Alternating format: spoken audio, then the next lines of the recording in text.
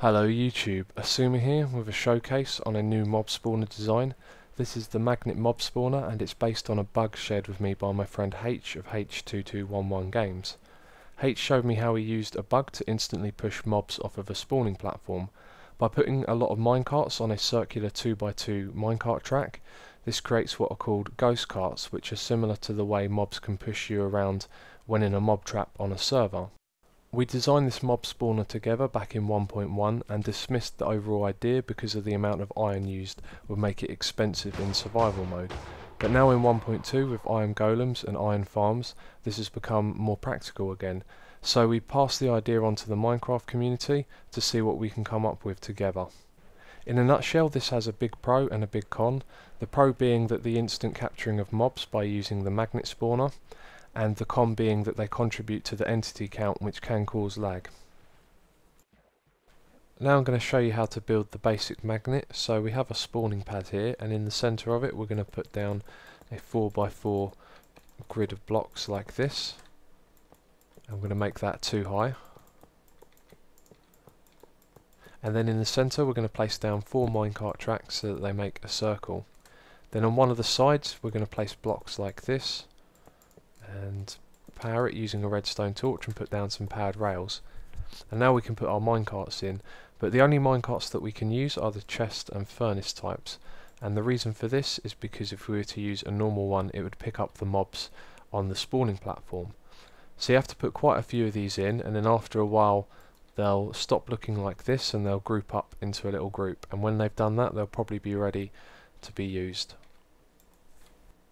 The minecarts have now formed this fast moving group and now we can place down some mobs so I'm going to switch to normal and place down some creepers and they should get pushed off of the platform. There you go and the more minecarts that you add the more strength that it will have and it will be able to push them further and also quicker. If you're interested in designing and building your own magnet mob spawner, then there's something very important to consider, which is that there's a balancing act that goes on when building this. And that's to do with this bit here, the magnet and the spawnable area.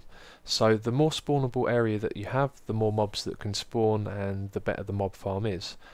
But in order to have a bigger uh, spawnable area, you need a stronger magnet, and the stronger the magnet, the more it contributes to the to the lag of the game because each minecart is an entity. So in each of my magnets I have 26 minecarts and then the spawnable area I have around it is 3 blocks out. So if I were to make the magnet weaker then I would make the spawnable area smaller and I could have more magnets in total. Um, but the main thing to think about is that you want to push the mobs off as quick as you can. So having a large spawnable area around a weaker magnet might not be as effective because the main strength of this farm is that it pushes the mobs off instantly and then they can fall down and be instantly harvested. Once I had designed my spawn pad and my magnet I decided to stack it 8 times in a tower and create a trap at the bottom. And I was happy with how that performed so I made two towers and that worked really well as well. And then when I introduced the third tower the game started to lag a little. So at that point I decided to stop.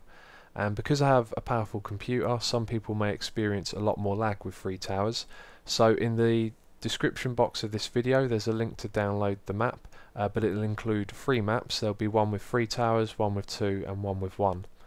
So thanks for watching and I'll catch you next time